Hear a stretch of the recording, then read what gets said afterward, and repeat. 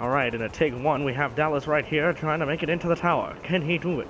In his glowing Christmas sweater with a penguin mask. The thing's spinning. Is it gonna hit him? I made it! Who's next? I'm gonna get Join hit. me, brothers, join me! Oh!